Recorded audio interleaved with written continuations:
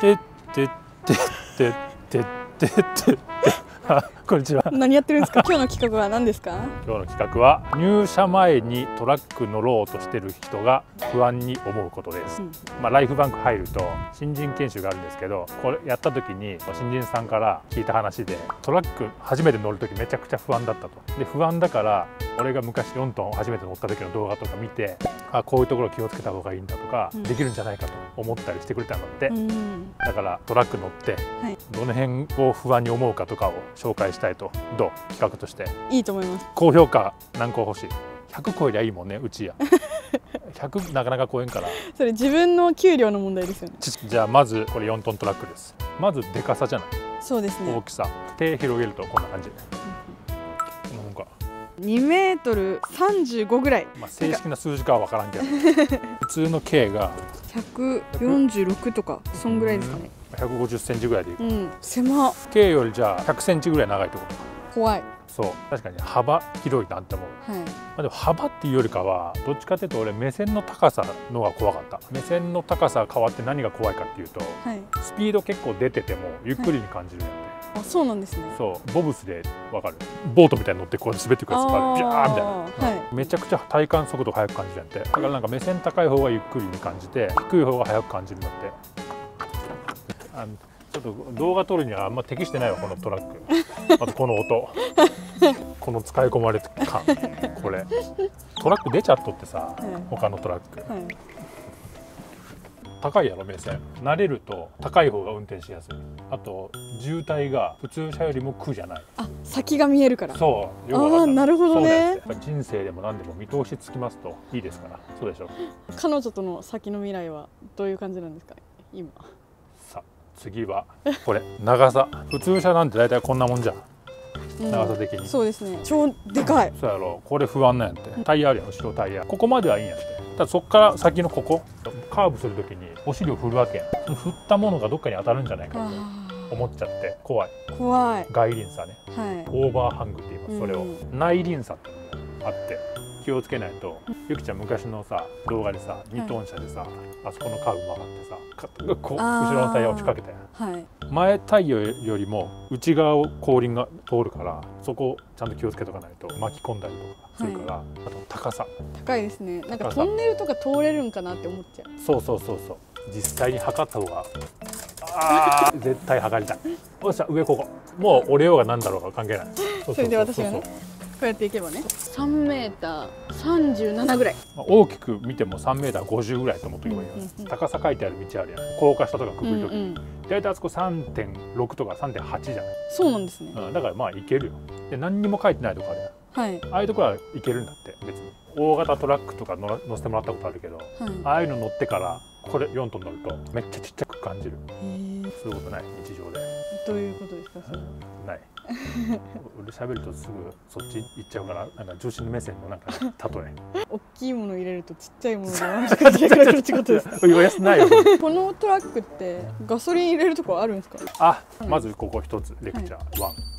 ガソリンと言うなとコメントで来ました。ガソリンってダメなんだって、まずトラックは基本ディーゼル軽油な。はい。で俺は知らんくてはい。軽油だろうがハイオクだろうが総称してガソリンって言うと思ってたら違うんだって、えー、違うんですうん。ねその辺間違えるなとコメントが来ました。すその説はすいませんでした。伝わればいいじゃん。そう思うやろ。はい。結局さそうなんやってちょっと言わせてもらうけどさ、はい。漢字でさ重複ってわかる？はい。同じことを重ねうんうん2回もみた。いな、うん。でもあれさみんな重複って読むんだって。はい。重複ってなんか違う違うんだけど、はい。みんな重複って言うからはい。もう重複でも OK みたいになったなったんやって。もう国語の時点で。そうそう。だから別にさガソリンでいいじゃん別に。伝わるでしょ？燃料だから。ダメですか？ダメよな。運送業やからプロやから。その辺の言い訳は。ガソリンの場所は？2トンはなんかこっち側にあることが多い。そうなんですね。この4トンは左側。ここにあります。これ。このタンク。えこれ？うんここここから、へーここから見たらわかる。ここにガソリン入れる場所があるんですね。そうなんやって。じゃあセルフで入れれるんですか？セルフで入れてもいいんだけどセルフのとこって大体あの普通車用のとこだから狭いやん。トラックに作られてないやんはい。うちはその会社の車庫のそばにいつも入れるガソリンスタンドがあるんだけどそこはもうトラック用のとこあるからあだいたい仕事行く前に行くか終わってから給油して帰ってくるか。でそれでいいんだけどはい。長距離とか行った時とかそういう時は高速道路で入れる。な高速道路のとかまあ基本あるから。セルフとかで別に法律では入れちゃいかんってことはないらしいけど。えー、知らなかった。そう。会社にもうガソリン入れるとこがあるとこあるらしい。へえすげえ。インタンクやったかなそういう会社になりたいですね。ガソリンスタンドって言ったらいいかな。スタンドか。えガソリンスタンドじゃないの？ガソリンスタンドって言うよね。ガソリンスタンドでさ。それで言ったら経由スタンドにな。っちゃうか本当やよね、ら、じゃあガソリンスタンドって言うなよガソリンスタンドって言うもんね。うん、ガソリンスタンドっていう。じゃあガソリンでまず乗ったら座席の位置を合わせましょう。高さとか。前後はちゃんとクラッチ踏んでグッと踏み込めるところまで座席前にしましょう。かっこつけてここんな位置でこうやって運転しとる人おるけどうん。これは危ないんでダメです。ちゃんと背筋伸ばして足がちゃんとクラッチを奥までグッと踏める位置。はい。これがあのベストです。で中山さんが教えてくれました。中山さん。そう元先生やから。はい。でシートベルトしますと。はい。エンジンかけるときはちゃんとニュートラルに入ってるかどうかはい。ここをチェックしてください。うん。グラグラなら OK、まあ一応ブレーキとか踏みながらエンジンかけましょう、でミラー畳んであるからセットしますと。はい。はい。サイドブレーキ下ろします。はい。で2速に入れてゆっくりクラッチを上げていきます。ぐーっと。はい。曲がってみましょ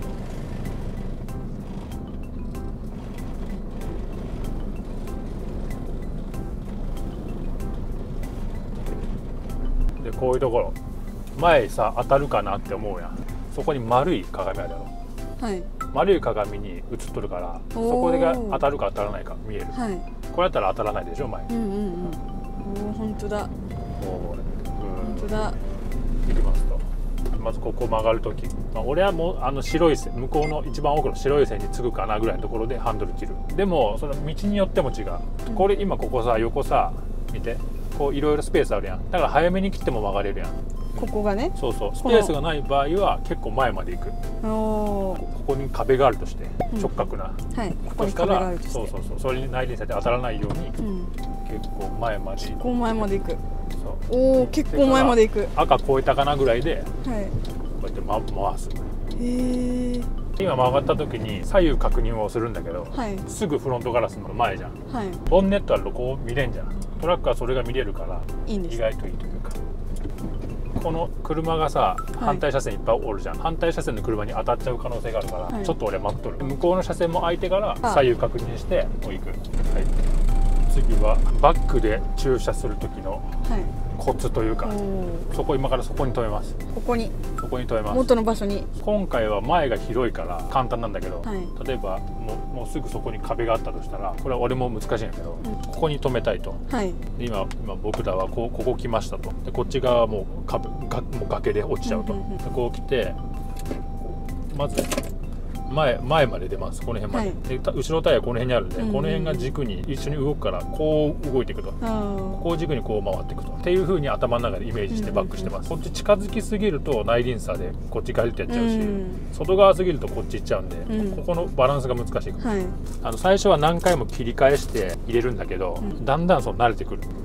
ここに入れようかなってこうまず見といて、そこ入れるにはこんなもんかなみたいなそうここのなモニターとか見ながらそうここにね。バックモニターあるんだって、はい。